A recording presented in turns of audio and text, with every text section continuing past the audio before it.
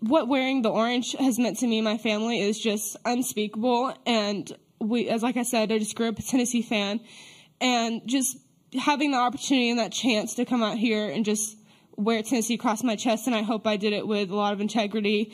And it's just been an absolute dream come true. And, and like I said, um, it just meant so much to me. And my my father, who passed away when I was 16, was the biggest Tennessee fan, and he was laid to rest in a Tennessee orange shirt. It has a power T on his headstone, and I just think that has the biggest, says the most about what Tennessee has meant to me.